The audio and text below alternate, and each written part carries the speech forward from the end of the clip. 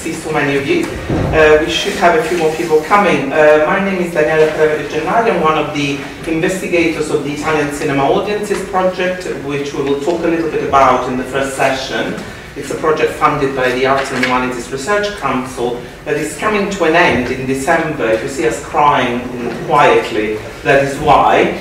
Um, and the project, uh, before, before I talk a little bit about the project, I just want to say that I want to thank a few people that uh, have organized this event today, and I'll tell you how we sort of uh, came to do this. Um, Carla Mereo and Sarah Culhane that uh, have really done everything, that, uh, uh, so I'm just sort of here as a sort of a guest. Um, Katia Pizzi from uh, the, uh, for the Study of Cultural Memory, thank you very much for having us. And Kathy Collins from the Institute of Modern Languages Research for supporting us uh, today.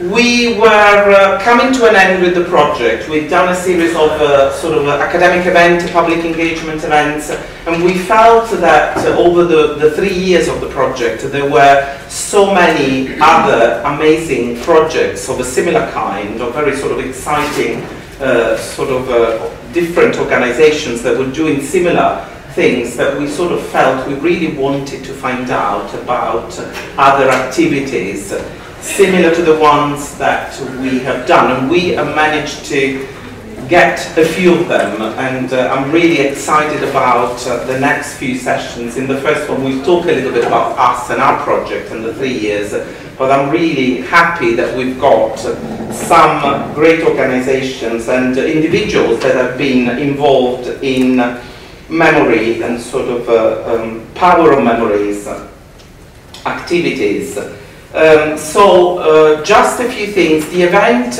will be record is being recorded. Uh, so I think you should have a disclaimer that has been uh, you Well, signed. it's for the speakers. Oh, it's only for the speakers. So with the others, you just have to accept unless you're really desperate. We are planning to put it on the Italian Cinema Audience's website just to allow uh, many more people to see it. And uh, I hope you don't mind. Please come and tell us if you're really sort of anti the idea, uh, unless it's Silvia that I know that is not happy with that. We are having a couple of breaks. There's a sort of a there's a lunch break where we are going to sort of disappear or maybe get together, find a place where we're going to have lunch.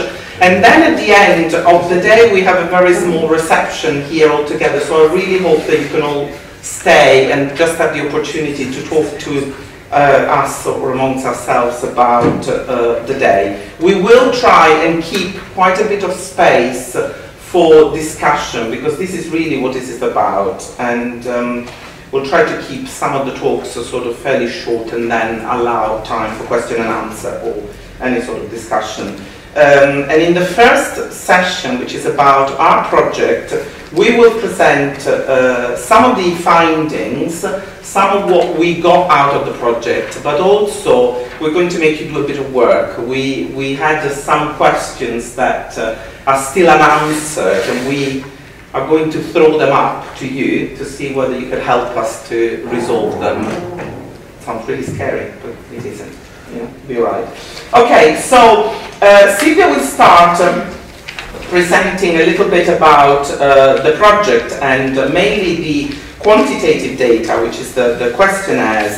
Then I'll tell you a little bit about what the oral history has done to us, so some of the things that the oral history has helped us to uh, sort of uh, reveal, and then uh, Sarah will uh, give us uh, sort of a very specific uh, insight into uh, stardom and uh, uh, oral history. And then at the end, we just want to show you uh, a selection of clips coming from the project. So it'll be 10 12 minutes uh, of uh, clips just to show you uh, the variety of uh, material that we collected. Okay, so good morning everyone. Um, thanks for being here. Um, so as Daniela announced, I'm going to give you um, an overview of, of the project. I'm going to focus on uh, the uh, qualitative uh, results mainly, but also introduce a bit of uh, the main um, themes and key findings from the uh, um, oral history uh, data that we have collected. Okay, so um, um, Italian Cinema is a collaborative research project funded by the AHRC. as Daniela already mentioned, and uh, it involves Oxford Brookes University, um, the University of Bristol, and University of Exeter. Um, so the project provides uh, the first study of cinema audiences in Italy in the 1950s by investigating filmgoers' memories uh, and contextualizing them by analyzing box office figures and film industry data. The necessity of conducting uh, research on this topic is evident if we consider that we know a lot about directors and stars of Italian cinema's heyday, from Roberto Rossellini to Sophia Loren. But we know very little about the Italian audiences that went to see their films. In its golden years uh, in the 1940s and 50s, Italian cinema produced the influential neorealist movement, uh, with figures like Rossellini, De Sica, and Fellini achieving world fame. Um, at that time, cinema going was uh, the most popular national pastime, representing at its peak 70% of leisure uh, expenditure by Italians. And yet, uh, relatively little research has been conducted, uh, especially on, a national scale, um, on how Italian audiences uh, chose films, uh, what genres and stars they preferred, um, and how region, location, gender, and class influenced their choices. Um, the aim of our study is to explore the importance of films in everyday life in Italy and the social experience of cinema going. This study offers a unique opportunity to shed light on a hidden history that is fundamental to Italian identity. Um, in a period in which Italy went through one of its most dramatic changes, from a predominantly agricultural nation to a leading industrial power, cinema remained a constant for its people. And it's crucial to conduct large-scale empirical research into Italian film audiences of that time before those audiences disappear. At the center of our research, in fact, are those people whose uh, stories about cinema need to be told, understood, and disseminated. Um, our research is guided by a series of questions, uh, including how cinema-going figures in the memories uh, of uh, daily lives of people throughout Italy at the time, what was the relationship between audiences and film genres and stars, and how this varied according to factors such as gender or location, for example, how Italian cinema goers selected and watched films, how cinema-going preferences related to wider social trends and changes in, in Italy in the 1950s. And also, finally, how our project might help us to better understand the nature of memory work. Um, the oral history approach is the core uh, of our study because it provides a thick description, as Annette Kuhn puts it, of the role of cinema in the period under scrutiny, while also allowing uh, access to subjectivity.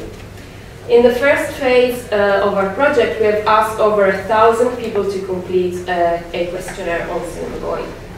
And this quantitative phase is being used to identify the recurrent themes and patterns, which we have then explored further in the second phase. Uh, in this stage, we have conducted in-depth structured video interviews with 100, 160 interviewees. And oral history data has been complemented by statistical surveys of audiences, box office takings, data on programming and, and exhibition, and relevant press material.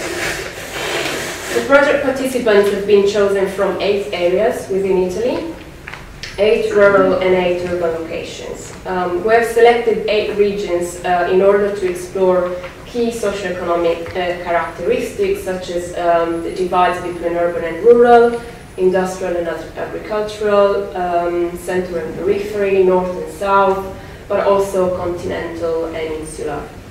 And the cities of Bari, Rome, Turin, Milan, Palermo, Naples, Cagliari, and Florence have been selected from the 16 città capozone, which is main cities used to monitor box office intake um, in the chosen period, uh, and therefore allow us to um, contextualize the oral history and material with these figures.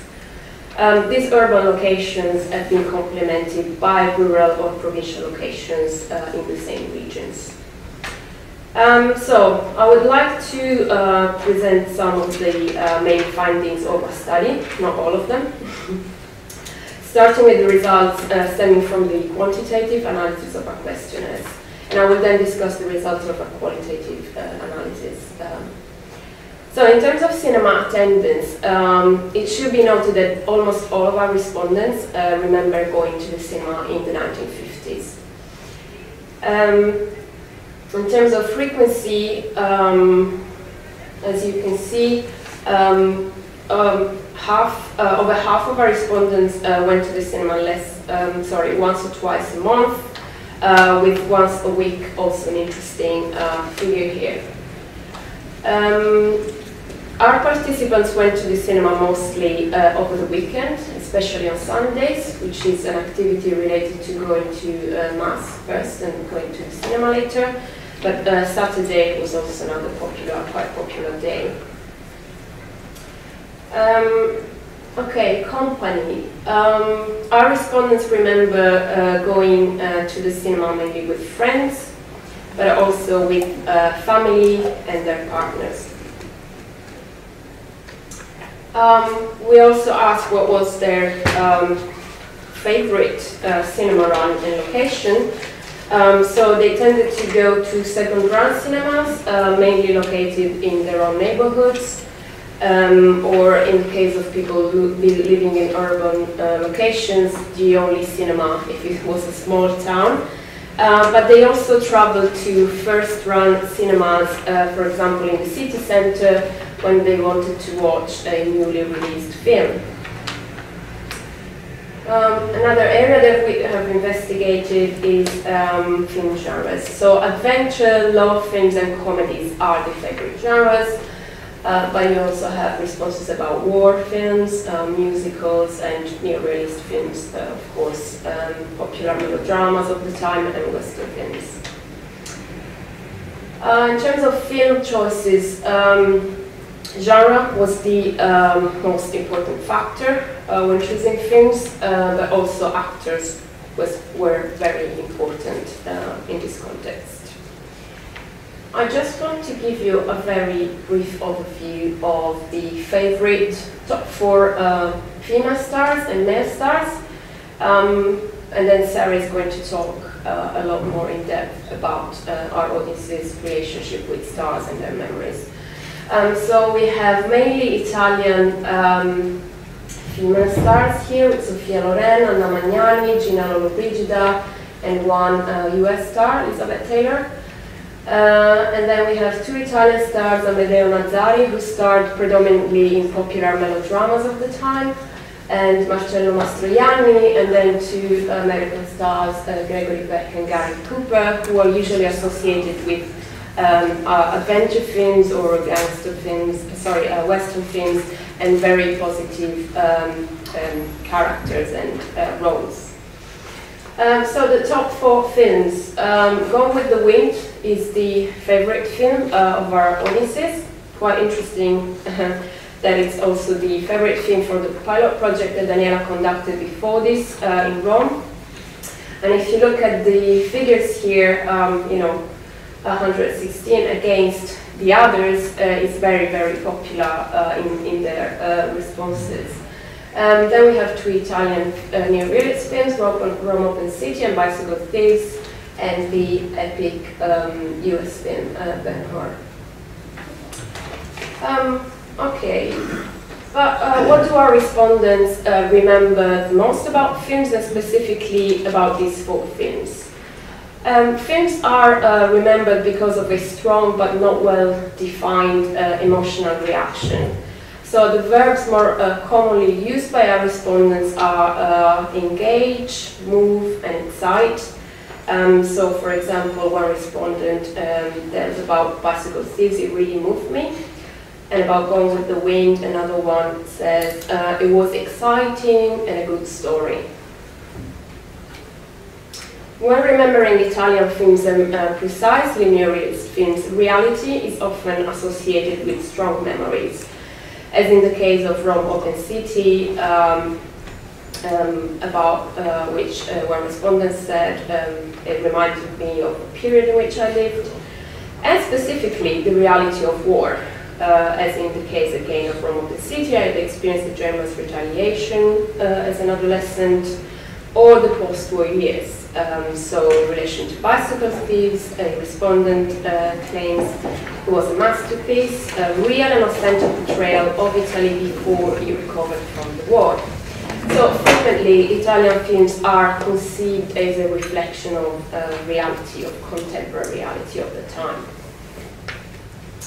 Now, in contrast, the aspects that are more vividly remembered about American films, uh, especially in the questionnaires, have to do with technical features. Uh, and these films are frequently cited as being spectacular or impressive.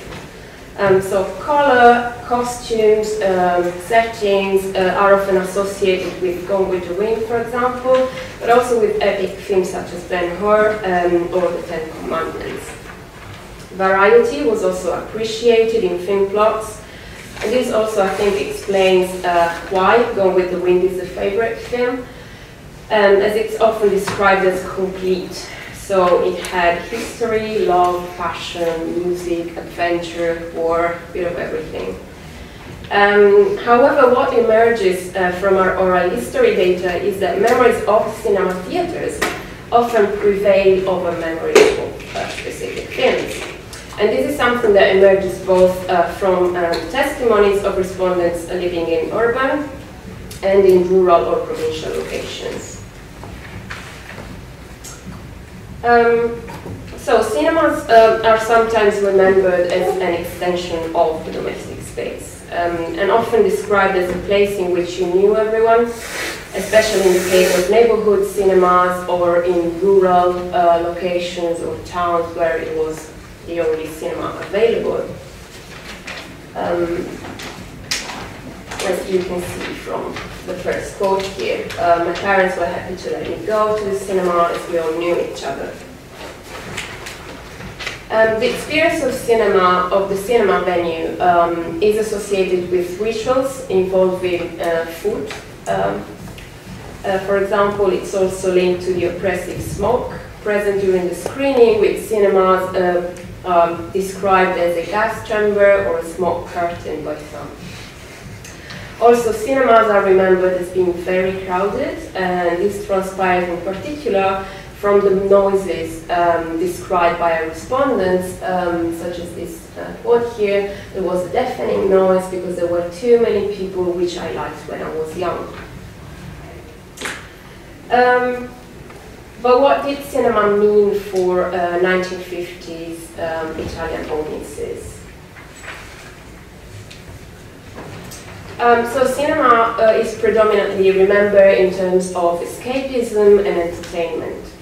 The world of cinema was perceived as one of fantasy and imagination, and an important distinction seems to be drawn by some respondents uh, between American films, which made one dream, and Italian, sometimes specifically neo-realist films um, that did not.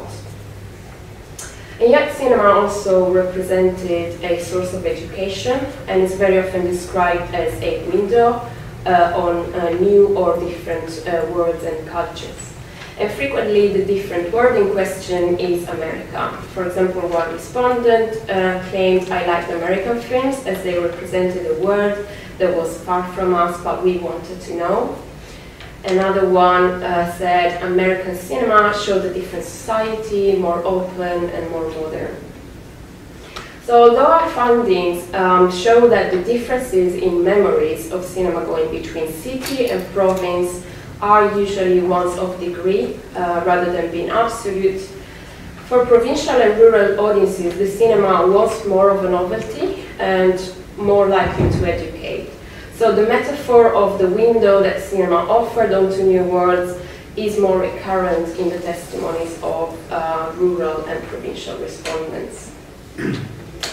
Um, also, um, the social aspect of cinema is crucial uh, in our findings. So there was um, emphasis in um, the witness, um, witnesses' responses um, on the idea of cinema as primarily a meeting place. Um, most people talk about cinema going as an opportunity to spend time with family, friends, and partners. Um, so cinema was a space in which uh, social and sentimental bonds um, were consolidated.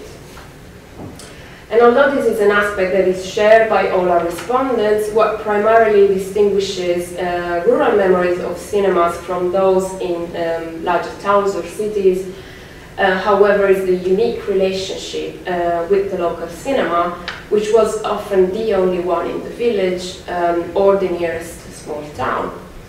Um, and if city dwellers um, list the range of cinema they visited, uh, the testimonies of our rural respondents are more frequently characterized by fond memories of one particular space. Um, and since there were fewer choices um, on offer, um, the respondents arguably um, had a greater familiarity uh, with space, but even with the people uh, who were running the cinema itself. Um, and so there is a, a, very interesting quote here uh, by one of our respondents um, who claimed in those years when in my town there was absolutely nothing other than parish cinema, the best thing was to gather in the cinema in front of a wooden stove uh, to keep ourselves warm as we watched films. Now I would like to end my brief overview uh, of the project and its results with a short clip uh, from one of our video interviews um, that shows the significance of uh, cinema going in the memories of post-war Italian audiences um, and is also connected to the fact that many of our respondents were children at the time. So just a brief. Che guai dell'immediato dopoguerra. Sì, ecco, io sono nato nel 41, come ho detto, e eh, nel dopoguerra il cinema rappresentava il divertimento più intenso, più vivo, più partecipato. Io l'atmosfera del cinema, non dimenticherò mai, e nemmeno l'odore, quell'odore, quella eh, sensazione, era, era eh, qualcosa che dava di magia, io ricordo che il mio divertimento più bello non solo era il premio che ottenevo da mia madre, da mio padre, di andare al cinema, era un dono, magari perché avevo preso un bel voto, perché mi ero comportato bene, e, ma anche prendere un po' di ceci arrostoliti e po' di lupini. Ecco, a quell'epoca c'erano i lupini, non so se eh, sai che sono bravi benissimo, umidi, umidi nell'acqua e eh, mentre vedevo il film io mangiavo, mangiavo i lupini, mangiavo i ceci ed era per me la cosa più bella, la cosa più bella, la, una gioia, un godimento, ecco, un piacere. Certo. Ok, for me. Thank you. I'm just going to start by, uh, I think that uh, Robert Allen's quote really summarizes uh, what's behind our project. So as theatrical movie going becomes a thing more remembered than experienced, I think we will be reminded that one of the most striking features of the experience of cinema for a hundred years was its sociality. And I think that this is really is something that Silvia has touched on, is sort of uh, capturing those memories before they disappear, and also memories of uh, those that experience cinema in a very, very different way, but also that social aspect of um, cinema going. Um, my presentation really comes, and I really need to thank Professor John Sedgwick that uh, the at a meeting a few months ago uh, of a European uh, research network said to me, yeah, that's great, you know, you've gathered all this data, you've got all these memories, but what are these memories doing? What are, what are they telling you? You know, what are they telling you? So I thought, wow, I need to think about uh, what uh, the memories have been telling me. Um, and uh, I think that uh, rather than, well, I'll what does the, I, I try to answer and I think that probably what would be really interesting to do perhaps at the end of the day is look at what memories are told in other projects that we've been involved in or you've been involved in. Because I think they're probably things that are very very different. Uh, but I try to answer some of these uh, of the, the, the, aspects of this question and uh, I've given uh, sort of five points. I'm, I'm, sure there's much more, but I'll, I'll, uh, I'll just tell you my five main features and I'll then give you some examples of that. One is uh, confirming and validating archival data. So for us, the memories have been uh, a sort of a counterpart to research that has been done in the archives. It's also informed us uh, on unknown viewing practice that we couldn't have found anywhere else apart from our audiences is revealed deeper layers of people thinking about their past. So it's how people reconstruct their past in the present tense through those memories of going to the cinema. It also challenged the official history of Italian cinema. There are moments in which scholars have uh, speculated and talked about uh, what cinema meant and what uh, audiences wanted or didn't want, and is actually looking at whether, whether that, that was the case. And you can only do that by asking the audiences. And then finally, providing a fuller understanding of cinema in Italian cultural life, which obviously is what uh, we were coming from. So uh, if we start by confirming and validating the archival data, in, in setting audiences' memory in context, the project has adopted a multiple methods form of investigation in which audiences are studied both from an experiential and numerical standpoint. And our findings in Rome, are now some of my data uh, will be specifically referred to Rome. Rome was the pilot project before the big national project where we tested some of the methodologies. And it's also, I think it's probably easier to look at Rome as a, sort of a, some of these aspects. Um, and uh, the findings in Rome reveal a full developed exhibition sector in operation, earlier than was perhaps suggested by Barbara Corsi, for example, as first, second and third run cinemas were carefully differentiated. The oral evidence produced in our research suggests that each cinema run performed a distinctive role in the diffusion of movies, attracting different types of audiences and yielding a different types of experience a market that was at the time extensive, delineated between the center and the periphery, and deep. In Italian it's called mercato di profondità, a market of depth. So the market going from the center to out to the second, third run and parish cinemas. If you look at this table, uh, we, we created this table to describe the programming pattern in Rome. We can look at cinemas that, uh, um, this is the frequency of the film turnover per week. So we've seen that there are a certain number of cinemas generally in the first run that have between one and two, one and two per week, uh, changes of film. Then you have a really high percentage of cinemas that, that uh, change between three to four, four to five, five to six, up to a film a day. So the velocity of film circulation is really astonishingly high, requiring a highly effective industrial organization to schedule and then get the films to the cinema. So we were looking at 114 out of the over 250 uh, cinemas that were in Rome at the time, and 75 screened three or more films per week. It was an effective uh, uh, system, but not necessarily sophisticated.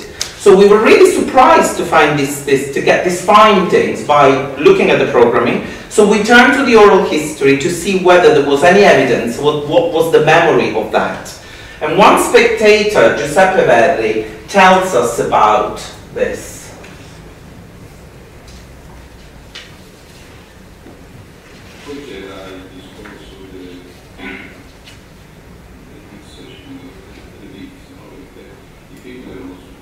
Sì. Eh, in genere c'era o due o tre pizze che poi venivano, diciamo, delle volte venivano scambiate anche per vari cinema, perché se erano vicini facevano Ah sì, con la stessa pizza.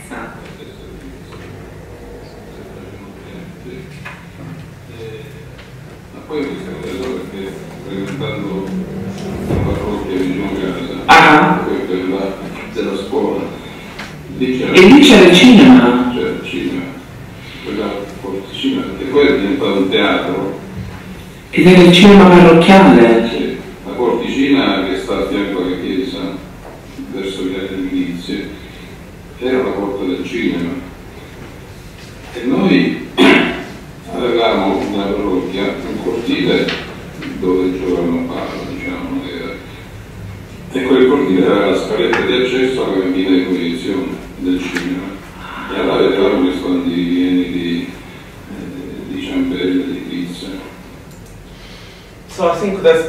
Plenty more that we could sort of uh, say the topographical memory, the relationship with the with the local cinema, the importance of Parish cinema in post-war Italy. But uh, this aspect about the film turnover is also echoed in a film that was made in 1952, to Due soldi di speranza, two cents worth of hope, in which uh, sort of uh, in the scene that I'm going to show you, you really have a bit of a sense, not just of the complex structure of the film exhibition Italy had developed at the time, but also from a point of view of the audience, what it meant for audiences to watch film in that way.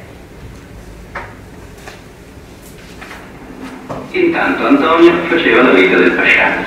Poiché la signora Flora Angelini, che era proprietaria di tre piccoli cinematografi di periferia, per abitudine programmava nei suoi tre locali lo stesso film e Antonio doveva correre su e giù a portare le bobine da un cinema all'altro. Ah, bravo, bravo. Andò, vieni, presto,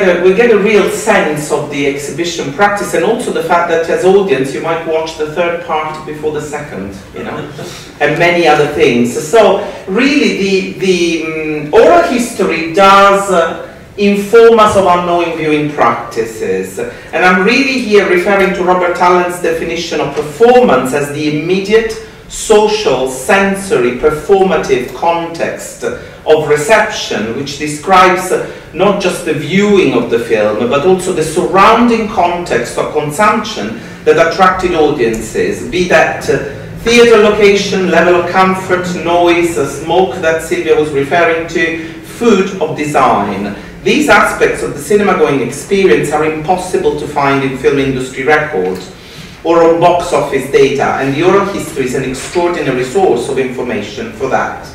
Our interviews provide, for instance, details about parish cinema's accessibility an opportunity to break free from parental restrictions as they were considered to be safe environment. Aurelia, in fact, as several other participants, remembers how she was allowed greater independence. We would go on our own. The parents would give us a snack on a Sunday and we would spend all afternoon there. It was a special time. We knew everybody. We had a sandwich, peanuts, bruscolini and mostaccioli. The film was an excuse to spend time with friends from the lo- local parish. This special atmosphere is shared in the video interviews in many ways through descriptions of special cinema arrangements where children were seated at the front row or on the floor closer to the screen, through the discussion amongst friends on all sorts of topics, not necessarily film related, through memories of noises of crying babies, hungry toddlers, and nappy changing practices, through feeling of being overcrowded in big cinema theatres or being parked by parents in the cinema for the entire day with dedicated appointments where food was, was supplied, or through special events that took place at the cinema, being the screening of the death of the Pope or the delivery of presents from Father Christmas. It also informed us of, uh, of gender impact and, and, restriction on cinema going in Italy, where for certain families, cinema represented a danger to women's morality, where respondents affirmed my mother did not want us to go because she thought it was dangerous, while another said it was forbidden, not even the parish cinema. I only saw film on a sheet at home.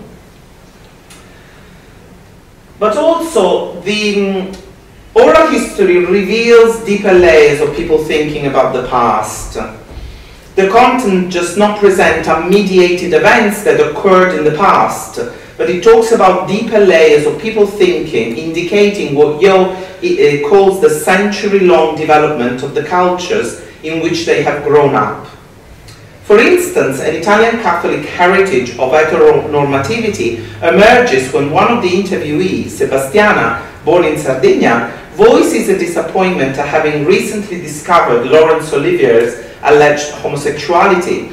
Sebastiana's idea of the masculinity embodied by Olivier, specifically in Wuthering Heights, is inescapably connected to heterosexuality, reflecting the culture in which she was brought up.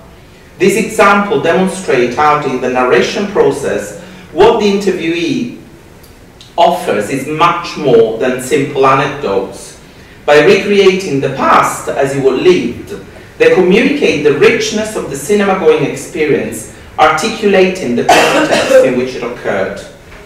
Moreover, as in Sebastiana's case, the individual testimony sheds light on the ideological paradigms that shaped audiences' relationship with stars, and I'm sure Sarah will talk more about this, based on normative gender assumptions. This confirms how, in contrast with questionnaires, which only provide concise responses to specific questions, the video interviews allow for the emergence of contextual material which reveals a great deal about cultural and social circumstances that shaped audiences' reaction at the time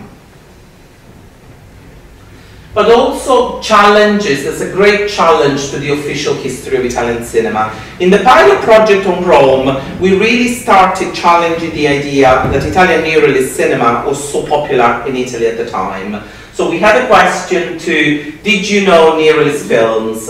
And uh, the, out of uh, uh, the 300, over 300 participants I had in Rome, 92 decided not to respond 22 admitted not to know at all the meaning of the term, 18 affirmed that they could not remember, and 11 simply responded negative to the question without further explanation. Providing almost half of the Roman respondents unaware of the critical definition of neorealism. Moreover, in some cases, responses also confess a certain discomfort towards having to accept their lack of knowledge, one participant states that he doesn't want to be perceived as ignorant and doesn't want to know the, doesn't, but doesn't know the specific genre, while another one refuses to respond because he doesn't want to say something silly. This might be, in some case, a reflection of the fact that at the time participants were being too young to register neorealism and have learned about it in retrospect. But I think, on the other hand, it may reveal a lack of engagement with any critical discourse related to this specific moment in the history of cinema. And here we, we, have looked at it, uh, we, we're trying to do it uh, in, uh, in many different ways. We'd, uh, we try to look at the relationship with the geographical area, with, uh, with the aspect of education, to try and sort of map the relationship between uh, neorealism and audiences. But also it is true that neorealism can get tied up with molds of memory relating to national cinema going discourse, so far from being a well-known privileged canon as it is for many critics, for the majority of the audiences it was part of a broader collective discourse, pra discursive practice of cinema going. And the uncertainty to define the term neorealism was also associated to another aspect that we've investigate, investigated in the project, the role the popular magazines had for Italian audiences at the time. Popular press was a constant present in Roman households, so I'm still talking about Rome. Epoca and Famiglia Cristiana and Tempo are the most common, commonly read magazines in, the, in those years. As Stephen Gundle affirms, stars love lives, wedding, houses, clothes, taste, and so on were an almost interest. And so what I have done is uh, compare what happened in a magazine that was extremely popular like Epoca in 53 and 54 with the pages of uh, a different journal, Cinema, which was committed to a serious critical and theoretical discussion on cinema. When looking at Epoca, there are no articles in the entire year on cinema that mention the term neorealism. Neorealism main protagonists are also neglected for the majority. These are the two articles that I found, one with Vittorio De Sica, the other one with Anna Magnani. And in these two cases, they are cited in, in aspect completely unrelated to neorealism. One about a film about love, in Vittorio De Sica's case, in the other one is about Anna Magnani learning English to go and work in the States. The situation is significantly different when analyzing the pages of cinema, which offers a wide selection of pieces debating aspects of Italian neorealism. Only in 53, seven articles discuss aspects of neorealism in Italian cinema. It is therefore obvious that while the debate of the most studied movement in Italian film history was taking place in the pages of cinema, Roman spectators who preferred to be informed around star news over hard news were completely cut out from this debate. This was undoubtedly confirmed by the fact that when specifically asked whether they liked neorealism, a very significant percentage, 60%, leave this question unanswered, demonstrating a total lack of engagement with it. The oral history in this case has instigated a more in-depth research into the relationship between what scholars perceive a well-known privileged canon in post-war Italian cinemas and audiences' responses to that.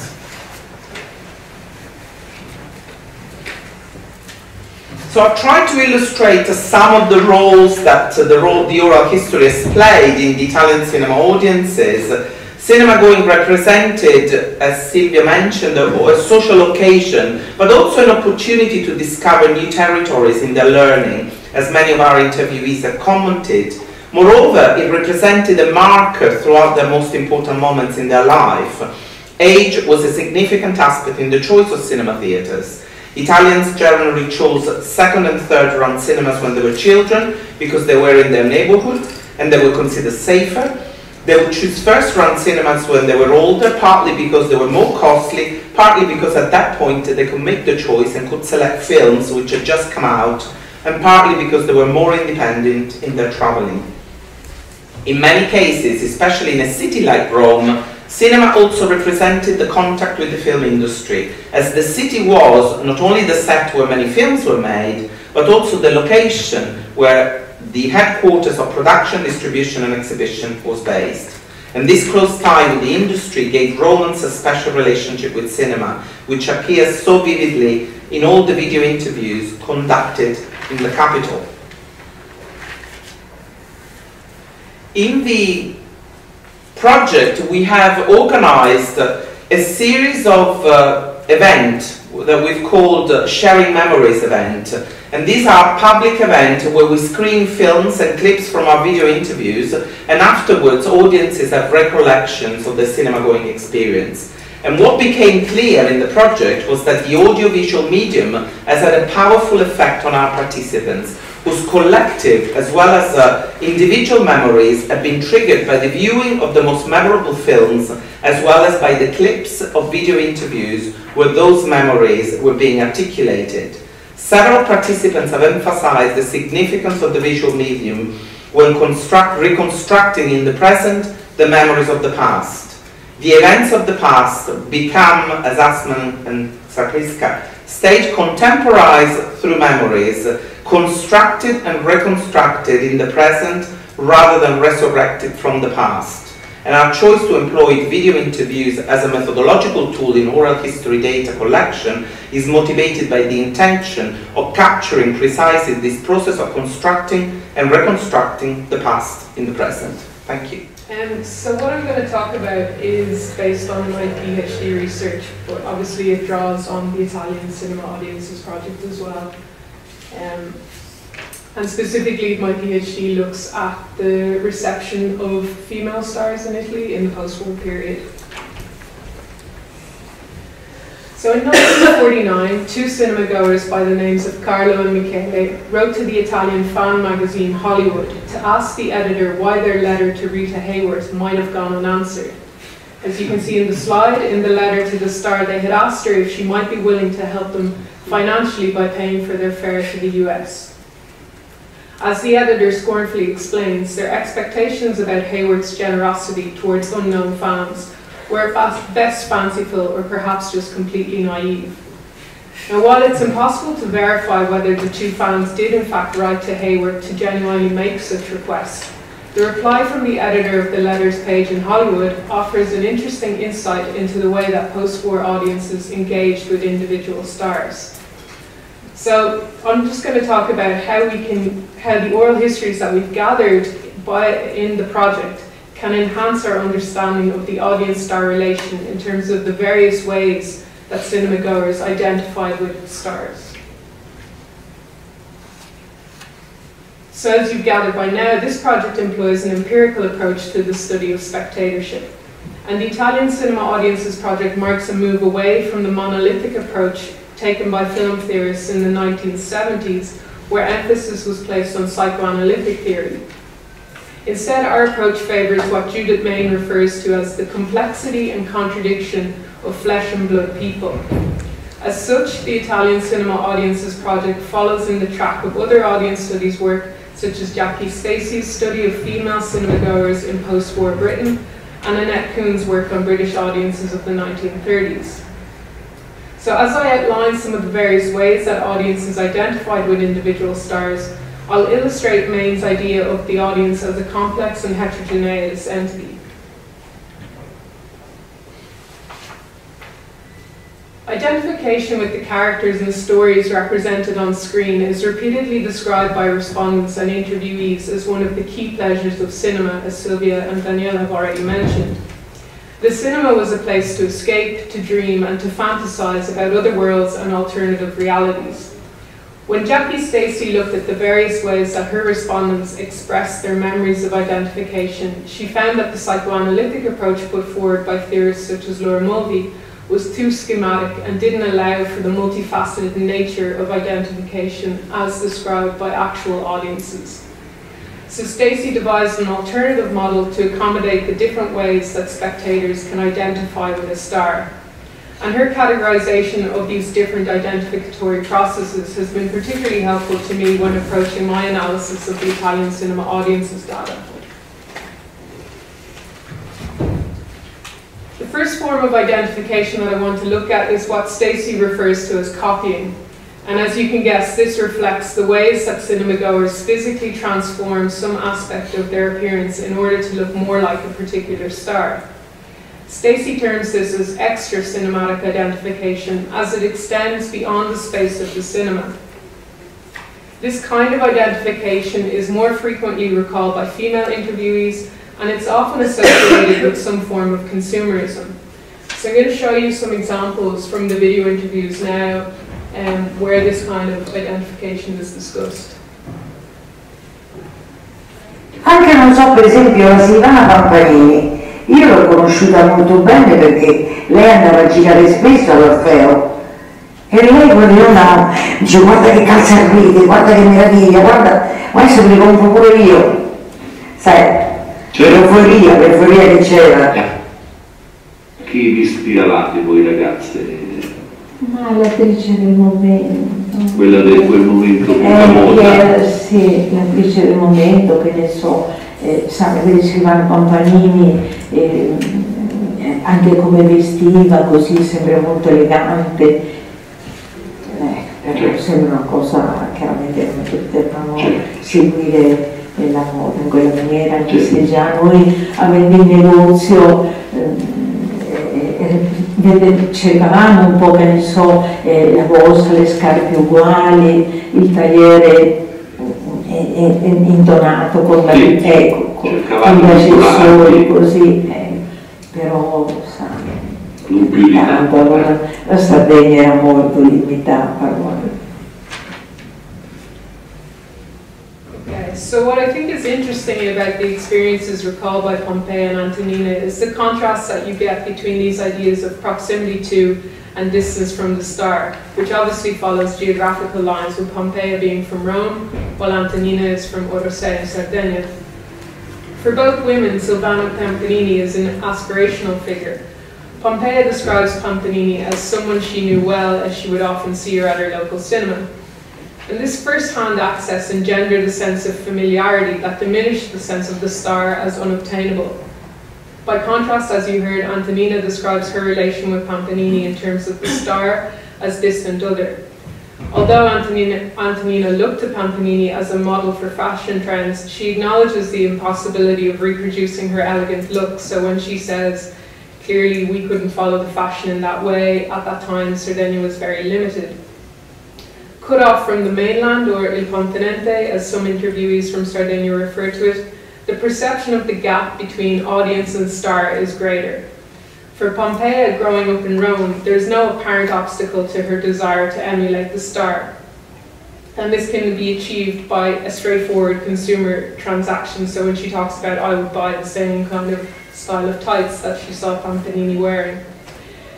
But for Antonina, who's now a woman in rural, as a child growing up in rural Sardinia, there is this retrospective acknowledgement that they lag behind the commodity culture that was more easily accessed by her compatriots in the capital. These regional differences alert us to the nuances of the audience-star relation and highlight how the individual's engagement with any given star is governed by the broader social, cultural and geographical context. And when recalling memories of identification with a specific star, Audrey Hepburn is repeatedly mentioned. And so I'm going to show you some examples of this first, and then I'll talk through them. Poi delle influenze potevano riguardare anche il modo di vestire, per esempio Audrey Hepburn eh, certamente era un modello per tutti noi, ecco, nella, nella sua grazia, eccetera. Poi uno era consapevole che non era come lei, ecco, non è che non si metteva in mente. Però, però, certo erano atteggiamenti, per esempio Guerra e Pace appunto con Audrey Hepburn, la, la, la, scena del ballo in cui uno poi si medesimava, dice è capitato anche a me quando ero lì che, che facevo tappezzerie e poi è arrivato qualcuno, eccetera. Invece Audrey Hepburn mi è piaciuto quell'epoca, è piaciuto lei che era la principessa, il greco di Peppia, la Vespa, lei che portava i blue jeans, che allora l'ho portato pure io quando ero grandina, eh, era una ragazza di quell'epoca che poi quell'abbigliamento l'ho portato pure io e mi è piaciuto molto. I video li ricordo ancora adesso come se fossero di adesso, di ora, insomma il film Sabrina, Vacanze Romane, Colazione da Tuffa, questi qua mi hanno, perché era il personaggio del nostro gruppo, forse di ragazze, che ci attirava molto questa attrice Olivier che era per noi un modello per assomigliare, ci tagliavamo i capelli, ci mettevamo le, le cenerentole come lei, ricordo, esatto, le cenerentole si chiamavano da questo.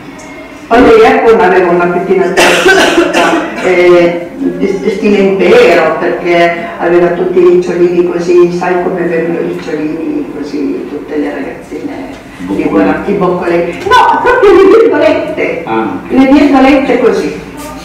C'erano le ragazzine, come si chiamava? Audrey Hepburn.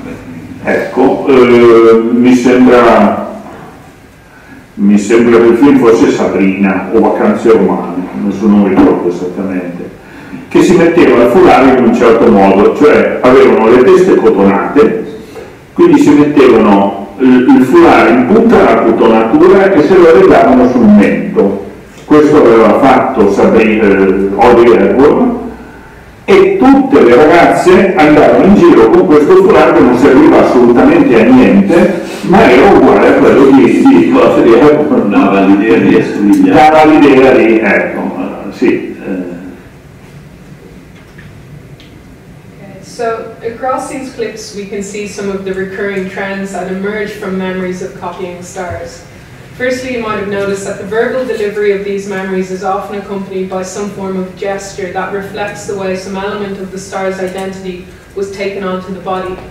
Typically, uh, we saw Luciana, uh, and she displays this kind of embodied memory when she talks about the hairstyle um, and also the clothing. Secondly, this form of imitation is very often described in collective terms as something that interviewees did with their peers, suggesting that it helped to foster a sense of belonging. And finally, copying Hepburn's look is also associated with the formation of gender identity and the transition from girlhood to womanhood, as is implied by Marina, who associates her wearing of jeans and the style of Hepburn with growing up, or Rosa, who describes how she felt like Hepburn in War and Peace while waiting awkwardly to be asked to dance.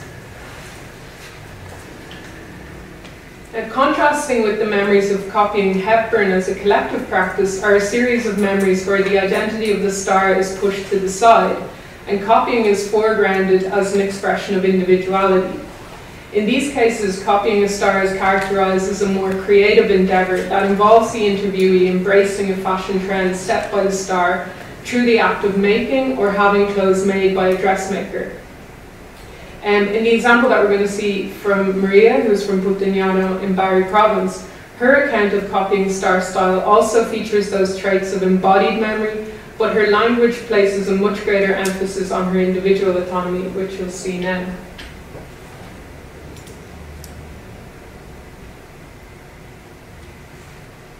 Questo stile, così come dici, no, delle, delle attrici, delle dive, in qualche modo cercavate di emularlo dove possibile? Sì, sì, come no, assolutamente sì, perché eh, vabbè, io sono stata una di quelle che andavo in giro con lo zucchetto quando usavano, non so, loro Sonson, lo zucchetto, oppure la fascetta qua del colore del vestito perché? Dicevo prima che c'erano tante fabbriche di confezioni e le ragazze si industriavano a cucirsi gli abiti.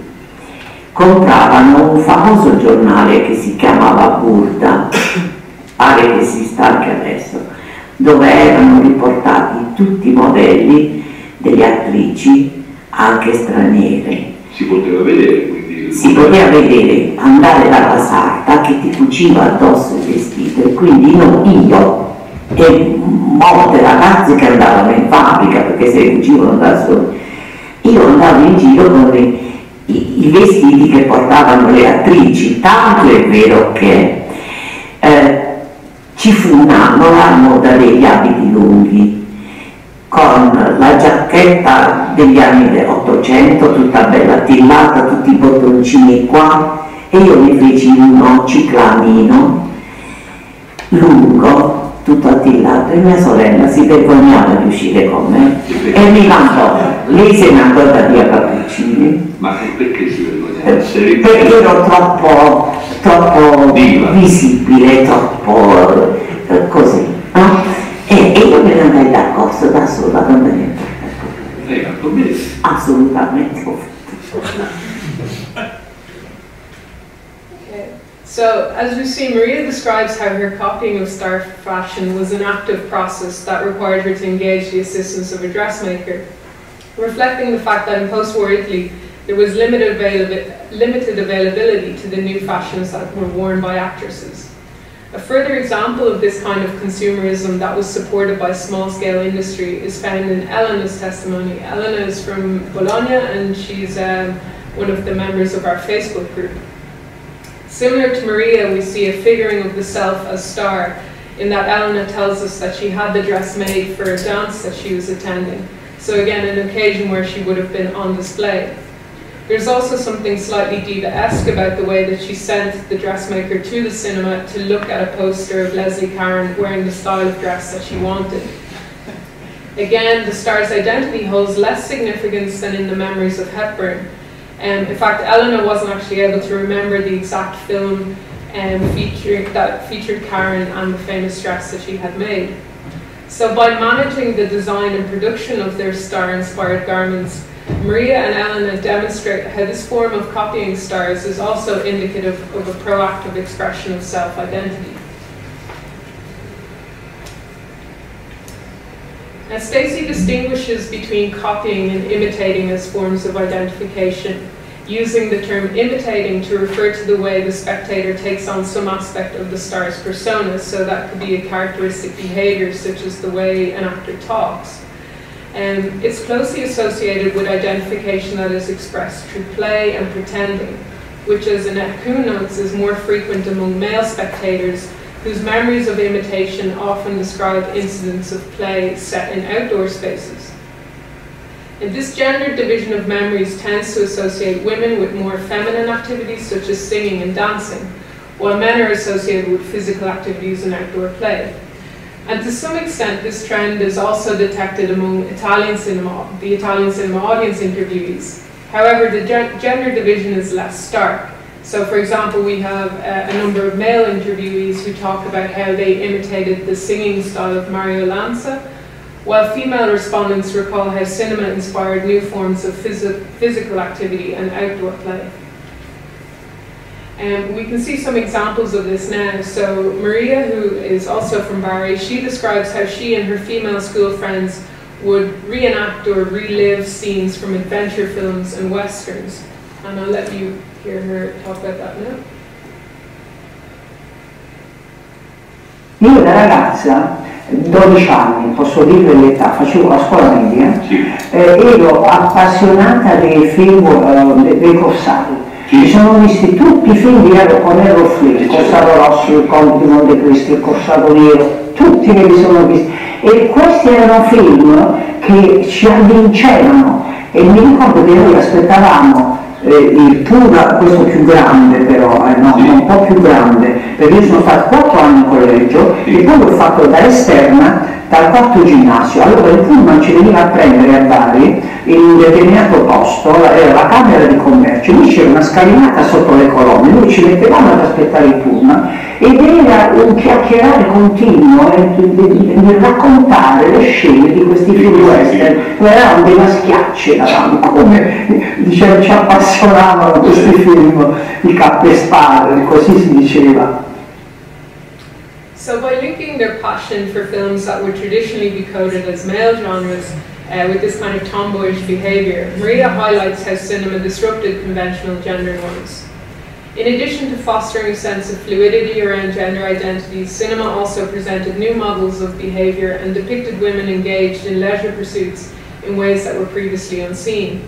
Um, so an example here would be Rosanta from Turin, um, and she talks about how she was inspired by the swimming style of Esther Williams, um, who hopefully you all know who she is, but she starred in a, a lot of 1950s sort of synchronized swimming musicals. Ricordo una, adesso non, non ricordo il titolo del film, ma di Esther Williams con queste sue abilità di nuoto e eh, ad esempio era eh, qualcosa di insegnamento anche del movimento a noi che il nuoto lo praticavamo nel fiume Po o, o nei piccoli laghetti che ci sono qui attorno. So just to kind of sum up then with a few reflections on this, um, in using an empirical approach and oral histories to better understand audiences and the way cinemagoers identified with what they saw on and off screen, it's possible to identify patterns that support the idea of the audience as a collective entity. But by the same token, the variations within these individual experiences remind us that there's need for caution when talking about audiences in a homogenous way. So hopefully these examples have given a sense of the importance of the video interview format as a research tool in that it allows those embodied memories which cannot be committed to paper to be captured.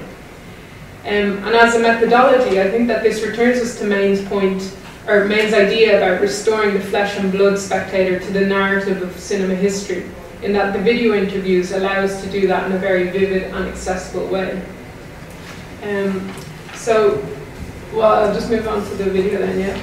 Um, it's probably a good transition.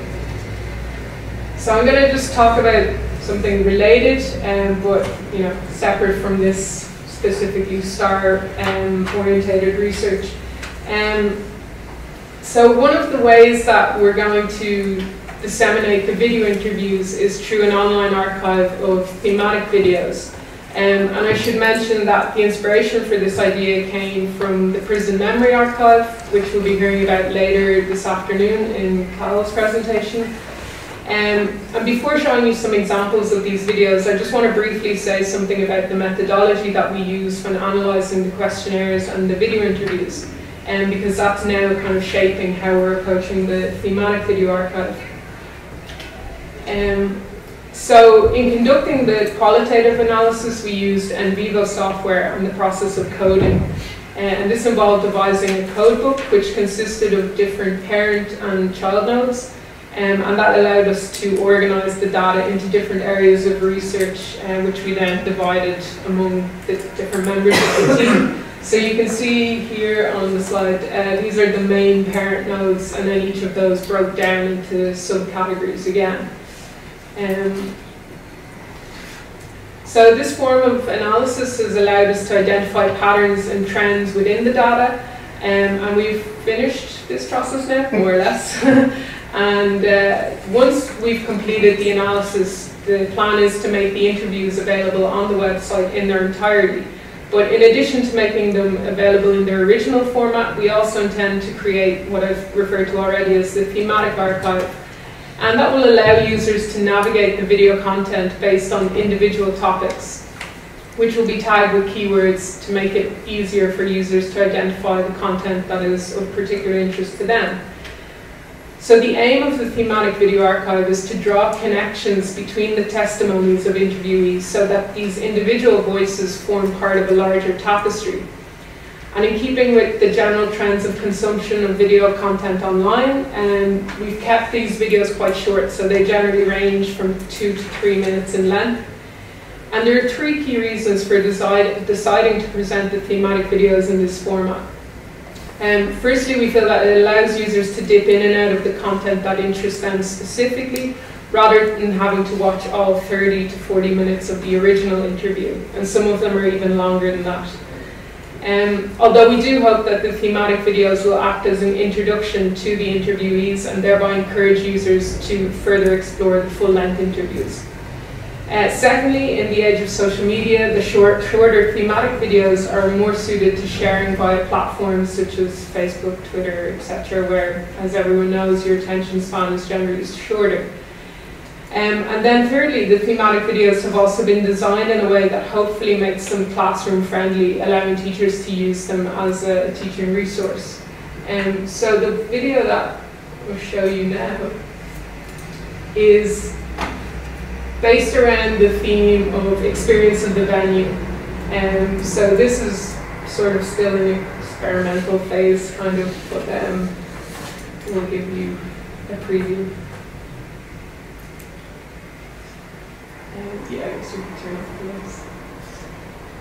I ricordi più forti sono proprio ecco, l'impressione di entrare in queste sale buie e con questo schermo. Avevamo un cinema proprio vicino casa, dove cioè ho vissuto la mia infanzia e, ed era papà, è stato papà il nostro trascinatore, dico nostro perché la famiglia eh, andava al cinema al completo, io, mamma, papà e mia sorella più piccola. Eh, quindi proprio le primissime impressioni, scavando nella memoria, sono state i primissimi ricordi quelli di queste sale buie, di questo schermo colorato, Beh, insomma la televisione arriva negli anni 54-55, noi non l'abbiamo avuta subito, certo. quindi il cinema rimaneva eh, come dire, uno spettacolo, l'occasione per la famiglia per trascorrere una serata insieme e, e, e come dire, riempirci gli occhi di colori, oltre che poi man mano che sono cresciuto anche di storie, di personaggi e quant'altro. Ma entrare con la luce vedere tutte queste poltroncine, eh, poi lo schermo e poi quando si accendeva questa luce che veniva da dietro, questo filo di luce, mi divertiva proprio fare l'ombra sulla luce che rifletteva sullo schermo quando capitava il passaggio delle persone. Ma era sempre accogliente, lo vedevo.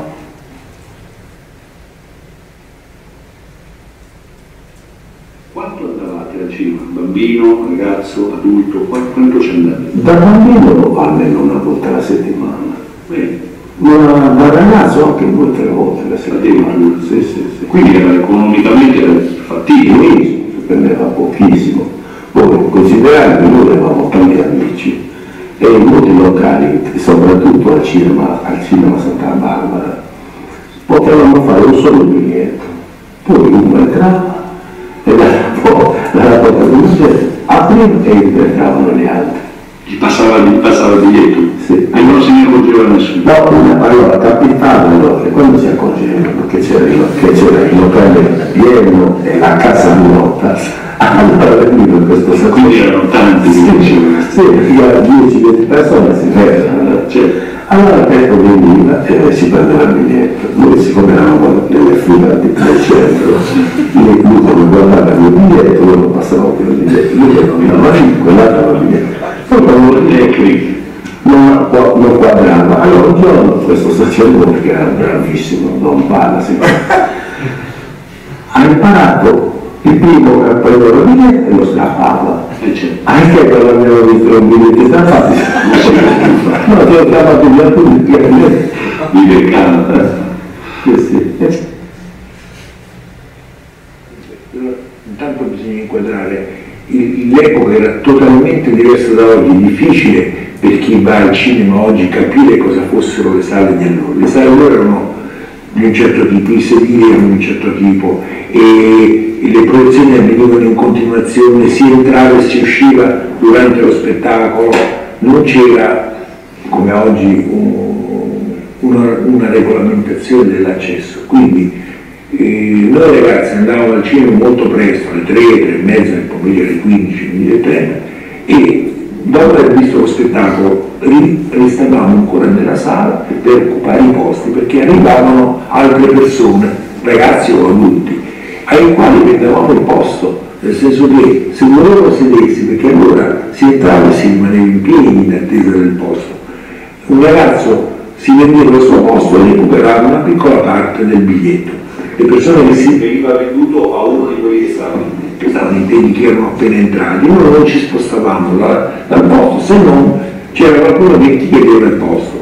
Allora dopo aver visto il film c'era un recupero di denaro, eh, piccolo recupero per queste persone che desideravano sedersi. Naturalmente la sala era una sala affumicata, tutti fumavano, noi ragazzini non fumavamo, ma non c'era bisogno perché il fumo era quello che fumavamo gli altri e era talmente denso il fumo che a volte dovevano aprire eh, i boccaporti, se non so come si chiama quella, quella struttura apre, perché a un certo punto non si vedeva neppure più la proiezione della pellicola, cioè il fumo era talmente denso che dava fastidio alla proiezione, quindi l'immagine sullo schermo era oscurata, era fastidiosa, quindi aprivano per far uscire questa nuvola di fumo, ma anche negli ultimi tempi a Roma, prima che ci fosse il divieto di fumo nelle sale e negli, nei locali pubblici, anche a Roma capitava questo. Stava dicendo le sigarette, il fumo eh, nel- nelle sale, ce n'era Sì, molto. c'è un, era un fumo persistente. Io non uscivo dalla sala cinematografica, avevo un odore addosso che mi capiva subito che ero stato al cinema. Perché impregnava i vestiti. Impregnavo tutta la scena, tutto di quel fumo terribile, fatto con le sigarette da pochi soldi. Che c'è?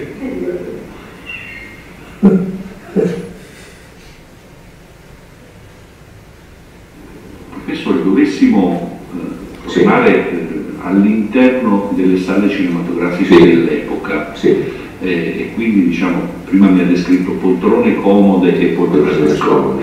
Se dovessimo magari così immaginare altri momenti sociali o particolari eh, odori, colori, eh, come si viveva all'interno della sala cinematografica? Ma, ma innanzitutto c'era un'autorizzazione a fumare e questo era un un particolare da non eh, sottovalutare. Eh, direi che c'era, un- c'era qualche cosa a metà fra, non dico la volgarità, ma la sguaiataggine quando c'erano certe scene eh, e un comportamento, eh, non so, lacrimogeno, quando eh, io mi ricordo per esempio Cielo sulla palude di Augusto Genina, quella la storia di Santa Maria Goretti, eh, dove si vedevano donne con fazzoletti che piangevano l'idea di questa giovane che aveva sacrificato la propria vita per tutelare la propria integrità. Ecco. Di tale era la commozione che c'era il pianto con le Sì, ma anche storie sentimentali, adesso non mi ricordo in particolare, ma per esempio mi ricordo il piccolo mondo antico, quando c'è la scena di questa bambina ombretta che cade nel lago, eh, lacrime a non finire. I film che vedevamo erano quasi tutti di cowboy. Le sedie di questo locale erano di legno e il locale di questo cinematografo era frequentato soprattutto da maschi, maschietti, che quando arrivavano i nostri sollevavano la sedia e provocando rumori infernali che non svegliavano mia sorella, però mi facevano o ridere o mi impaurire. Le prime volte sì, Poi si è abituato. poi sì.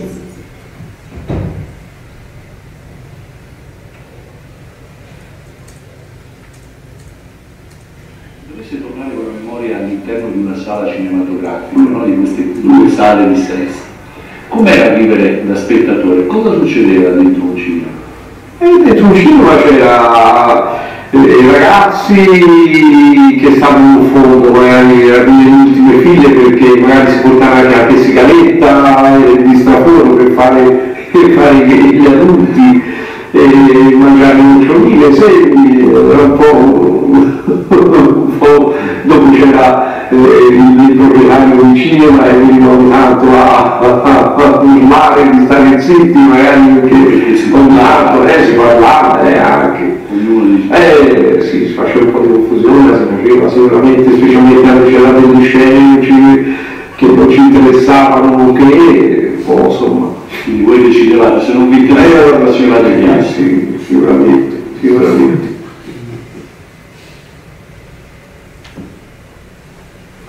Antonio, ma era comune vedere delle donne che andavano al cinema da sole? Non esisteva. Come mai? Sarebbe stato subito eh, rese madri.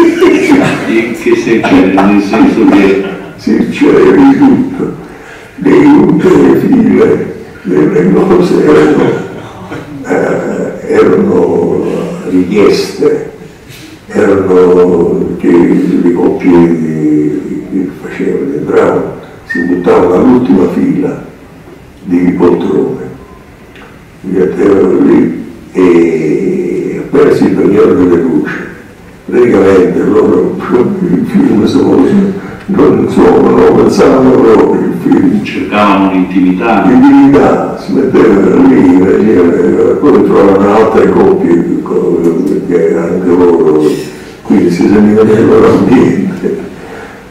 quindi venivano Poi c'erano persone invidiose che andavano a sfottere questi capi, facevano i fatti loro. Quindi c'era un aspetto anche Un aspetto folcloristico, sì, sì, sicuramente. Alle- alle-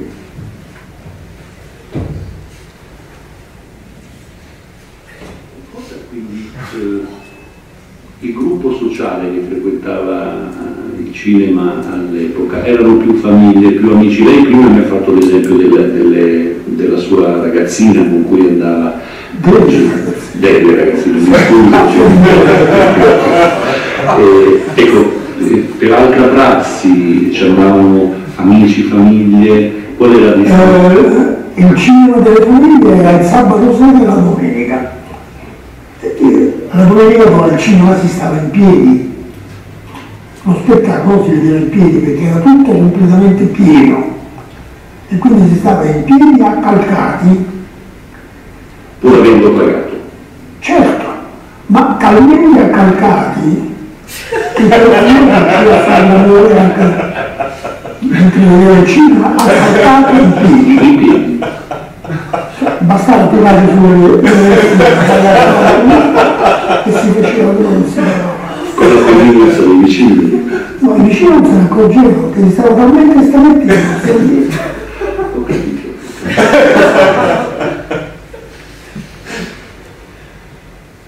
Quando poi andava al cinema al, al liceo, eh, il cinema era vicino, casa lontano, si spostava No, no, mezzo. no, io ero nella- qui nel centro, perché sono sempre abituata qui, e, e- e c'era il corso, il cinema corso in Corso Vittorio, e quindi si andava lì, 4-5 isolati. E se doveste pensare alla sala cinematografica, prima, durante e dopo la proiezione, come descriverebbe odori, socialità? Cioè, qual era la... Mi ricordo una sala, eh, il cinema si chiamava Porta Nuova in via Nizza. Avevo visto un film, perché era un cinema, non dico di film pornografici, ma di film decisamente di basso livello, ma non so perché mia zia ci aveva portati ed era stranissimo e allora mi ricordo che c'era da- eravamo divertiti perché proiettavano lo stesso film in due sale contigue quindi mi divertivo ancora a 14-15 anni a passare da una stanza all'altra Ma per lo stesso film? per lo stesso film. E poi adesso che mi viene in mente, non, non mi sono mai posto il problema, qualche volta mio cugino ci accompagnava, ragazzine di 16-17 anni, a vedere dei film. Però eravamo le bravi bambine e andavamo a vedere film per bambini. Ci accompagnava la zia e mio cugino diceva va a vedere quel film. Una volta siamo capitati a vedere un film, La ragazza del lago, era un film giallo. Mia zia si era sbagliata, mi ricordo con che soddisfazione abbiamo visto finalmente 16, io e mia sorella, 17enne, un film che non era per bambini, che non era Walt Disney, eccetera. evidentemente sì, poi penso che mia zia abbia detto a mio cugino guarda ci siamo sbagliati lui si è arrabbiato perché era un film non adatto a queste ragazzine di 17 anni. La ragazza del lago, non si vedeva un cadavere morto. Sono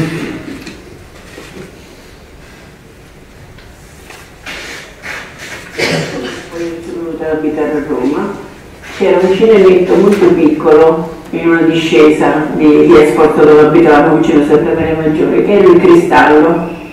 È un cinemetto dove abbiamo visto parecchi filmetti, però non c'era tanto da passeggiare, si usciva da casa e si entrava al cinema. Mentre invece quel famoso cinema Trevi, dove noi potevamo entrare gratis tramite la, la maschera che ci conosceva, e beh, si partiva da casa, si faceva un- una bella passeggiata. E si vedeva Roma, si passava al traforo, si- oppure si passava da sopra, si scavalcava, si, andava, si vedeva il Quirinale, poi passavamo, scendevamo le scale, vedevamo un po' si- qualche turista sparuto che c'era allora, che già cominciava, macchine poche, e si passeggiava bene, si camminava, eh, era una bella passeggiata per arrivare a Trevi, eh. si andava con una mia amica lì.